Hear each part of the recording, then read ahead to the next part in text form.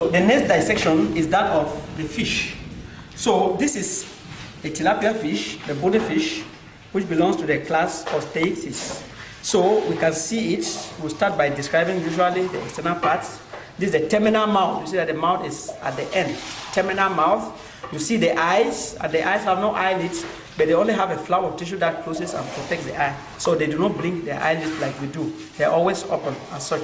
Then we have the operculum this is the operculum this way, the operculum that closes or covers the gills. And then here we have the fins. This one is the dorsal fin, you see it with blue rays. This is the caudal fin or the tail fin. You see that when the fish is moving, it flashes from time to time and helps to propel it. Then the other one is the anal fin. This one is right at the, the anal region. Then you have the pectoral and the pelvic fins. These ones are paired, so you can see them. These ones function in making the fish stable and also balancing the fish and also make preventing it from yawning. So in yawning, it's a situation where the fish can be moving in water like this and then it suddenly begins to turn like this. So that's yawning. So this dorsal fin and the anal fin, they prevent the fish from yawning and then this one, they push the fish forward. So the pelvic and the pectoral fins, they help the fish to slow down in water when it is moving and they also help it to increase the speed. So if you watch a fish, you will see that it moves and opens and closes these fins. So another aspect of this external vision is that the dorsal part of the fish is slightly darker. You can see it darker, but the ventral part is whitish. So this dark dorsal surface blends the fish when you are seeing it from above with the ground, and then this whitish surface blends it if you were under the water and seeing it up so that you see it as if it's a guy and you will not easily see it so as to catch it. So this is a form of camouflage and it makes the fish to adapt itself into the water. So we can see the scales, the, the, the cycloid scales that cover the whole of the body of the fish and you see that they are pointed backwards. So this fish is also slippery and it has the streamline shape. The streamline shape means that the head is small, the body is big gradually and gradually goes down so that it eases the movement of the fish without friction. For example, if I were the one to be moving inside water, there's the tendency that the water will be touching on my shoulders and it will push me backwards. That will give a lot of resistance and I will swim with difficulty. But the fish only goes very smoothly like that. So we can be asked to isolate, to take out a fin of a fish. So if we are to take out one fin of the fish, then what we'll do is that we'll cut off the operculum onto one side, cut it off like this, onto one side to expose the gills. These are the gills here. So these are the flaps of the gills. And then we can cut out one gill you can cut out one gill, can cut out the whole of it. Because you can be asked to dissect the fish to display the structures responsible for breeding or gaseous exchange. So what we will be required to do is to cut out one of the gills, the gill filaments, like that.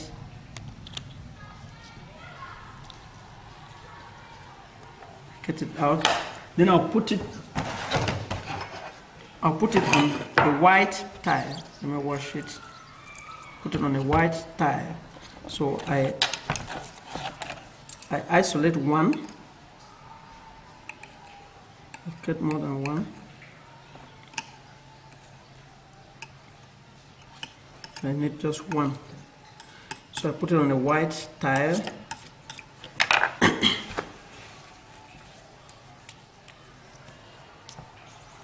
Then I observe it.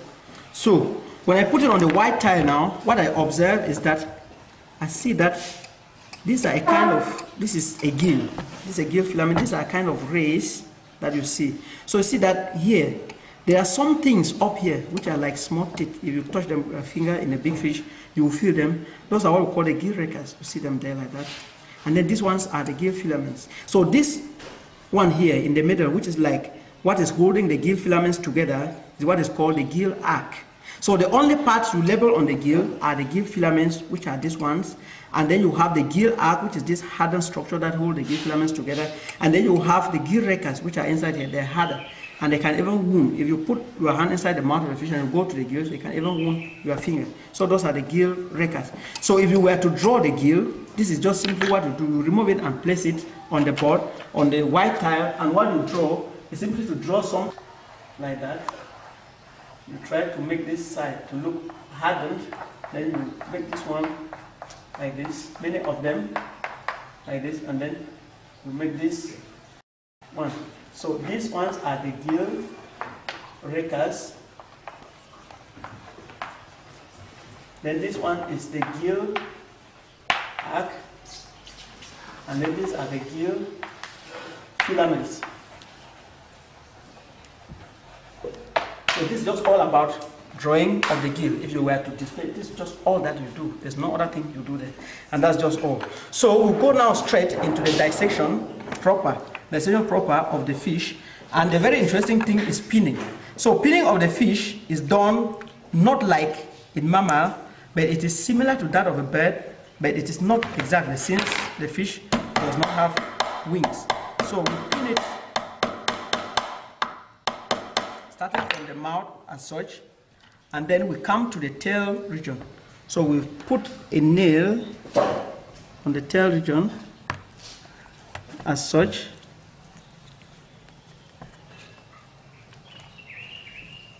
we pin our box. This is how it has to stand. This is how we pin it. And then we could also pin, we also pin, so open a little bit, and then we pin the operculi. So I can use longer pins, but I can easily pin it for me. also pin the operculi on the left and on the right.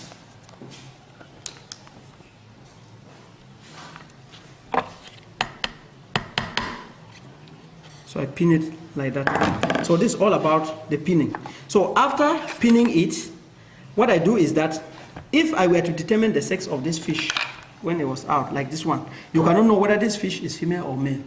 But what is there to determine the sex externally is that you look at the cloacal end, that's the cloacal region, the, the region of the anus, and you count the openings that are there. If you see two openings, then you know that it is a male. Because the male will have two openings, that for sending out feces and that for sending out urine and sperm. Then if it has three openings, then you know that that's a female. Because the female will have another opening for sending out urine, another one for sending out eggs, and then another one for sending out feces. But you may not actually count them as the feces like this, but it will take time you count. Like for this one, this is there, there are three openings here. This one down here, this is another one, and this is the third one. You can see that this feces coming out from this one, so this is the anus. You can see another thing coming out from this one, and then another one down here. So it means that this one has three openings. So this is certainly a female fish. So we have not looked at this one, but we'll open this one. I will see inside the sex of this one. So to dissect the fish, we make an incision just a little bit above the cloaca. We make it laterally like that with our scissors. So we make the incision down like this. Then we extend it a little bit to go down. We also extend it a little bit to go down this way. So when we extend it now to go down like that, we cut up in the median, we cut it up in the middle as such, putting our blunt end of the scissors inside, and then the sharp end remaining outside. So we cut it up like this till we reach the area where it joins to the gills. So we cut up and reach here, we stop there, and then what we can do now is only to increase this our incision to go down, but being careful not to cut the intestines. So we now open it. We'll cut it now to go up like that. We now open what we have. Now open it on two sides and we pin. We pin it like that. Pin it onto the board.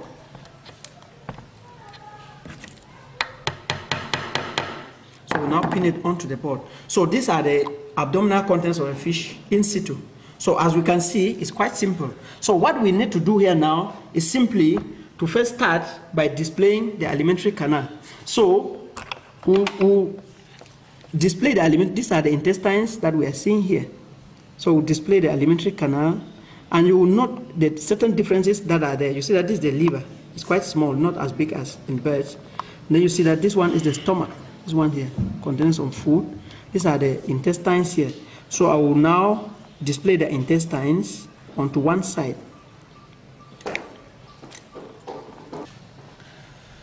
So I can open it up this way and I bring it this way. I put it onto this side. I open up this one. And make sure it is in the way that it is quite uh, visible.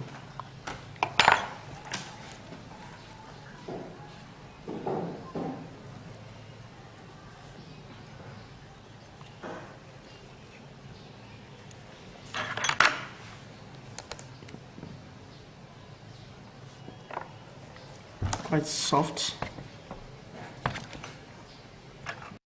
So we should do it with a lot of care.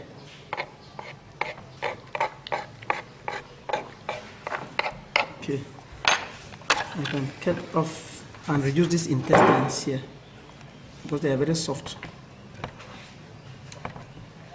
Cut off and reduce it. Doesn't pose any problem if I reduce it. So if I reduce it now, I'll have it look as such. It's a display of the intestines. So here now, I have, this is the stomach that comes down. This is the liver here. The stomach here, this is the liver. Then you can see a small spleen here, this part here. small part here is the spleen. Let me add some water is clean small spleen here and this is the stomach this way this is the liver. You see that these are already the intestines that come like this. The intestines are not as distinct as those of birds and mammals. So if you were to dis display the alimentary canal of a fish this is just all you do. You just get it pin it like this and remove like this and you draw a diagram. It's just simply all that you do. And in such a situation you draw a diagram that looks like the one we put on the board. We have made this incision, we have cut up this way, we have pinned our side, and then we have displayed the alimentary canal as such. So this is the alimentary canal that has been displayed. So you see the stomach this way, and you can see the, the liver which is there, and you can see the small spleen is level somewhere up there, which we which we have seen. It. These are the gills here. Just simply need to label these parts that are there. This is just all. So it's not quite uh, complicated. So what we are going to do now is we are going now to some of the fish. We have to remove the alimentary canal because we do not need the alimentary canal. So I will remove the alimentary canal so that we'll see now where the genital system is. So I will remove it, remove it as such.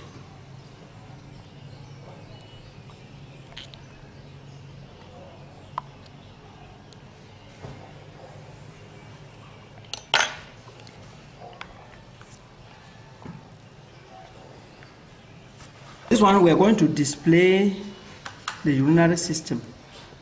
The urinary system of this fish. So this is the swim bladder, this part here. This is the swim bladder here.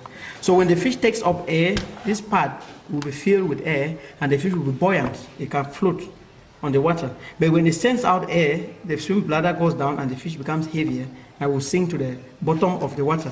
So this the swim bladder, and that is why when you stand on the riverside where there are fish in the water, you, will be seeing the fish constantly coming out of the water and gulping the air. So when it gulps that air, it goes back into the swim bladder. It doesn't breathe with it. It breathes only using the gills and water. So when we remove the swim bladder, what we just have to see next to it is simply the kidneys. So these ones are just the kidneys of the fish on the two sides, which are lying inside the bone and looking red as blood. These are simply, if you were to display the genital system of the fish, the, the, the urinary system of the fish, you just simply remove all of this part and then remove the swim bladder. When you remove the swim bladder, what you see is just the kidneys. These are just the kidneys like this. And they come and join up here into the anal opening, to the anus here, where you have the anal opening, and then they send out their waste. These are the kidneys. That is just all about the, urino, the urinary system. Something that looks like this, this one in the middle. So this is the kidneys that we are seeing here, this one. These are the kidneys that come and join down here. So there's a very small here. This is a very small bladder here. This one. It is called a pseudo bladder because it is semi-functional. It doesn't store much feces. So immediately there's a little bit of feces there, it comes out. So we call it the pseudo bladder. So this is all. So what we are to look now in a fish is to display the genital system, that's the reproductive system. So we are going to use this other fish and we'll see where the reproductive systems are located in this fish and we said was a female. So we are going to remove now these intestines to observe the genital parts, that's the urogenital system. So I will remove the intestines, these are they, I will remove them. We are done in the other one.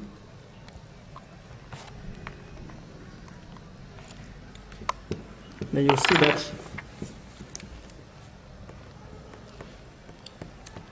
what we are left with here now, this ones, what is here now, these ones are the ovaries. These two, like this. These are the ovaries. So this is this is ovary bearing so many eggs. These are the eggs of the fish, like this. So these are the two ovaries. So these ones are these are the urinogenital system of a female. These are the genital system of a female, female fish. So this is the swim bladder that we had talked about in the previous one. If we burst it, you see that air will come out. You see, air has come out. You see how it goes down and then we'll keep this our oviducts containing eggs here, the ovaries, keep them on the side here, and then we'll remove the swim bladder. You see that I'm removing and you are seeing the kidneys, okay? So these are the kidneys down here. So only need to clean it up, clean it up. Even the heart, which is up here, we also remove the heart because we do not need it for now. See that these are the urinogenital systems. So we can place these our ovaries this way so that they are very visible. We place this one, place this one this way. They are very, very visible. So we can put them on one side this way, like this, so that the kidneys are very visible. So these are the urinogenital system of the female. So if you dissect and place like that, you draw. See that you have a diagram which looks as such. These are the ovaries containing so many eggs, and these are the kidneys. So you have the set of bladder down there, which we have seen. And then if it were a male, you will be able to see the testes. The testes are also as long as the ovaries, but they are very small and whitish in color. So you see that the testes will be whitish, but they will separate and they are not as big as the ovaries containing eggs. So you will equally draw it, which is like this, which is a male, and as such, which is a female. So this is just all about dissection of fish. What is important is that you should have your fish, you place it, you dissect it first of all, and you draw your diagram to look like what you have dissected. Once you do that, clean up the board, clean your dissection, and you go away, the examiner will always give you your marks. So I hope that this is going to help you to improve on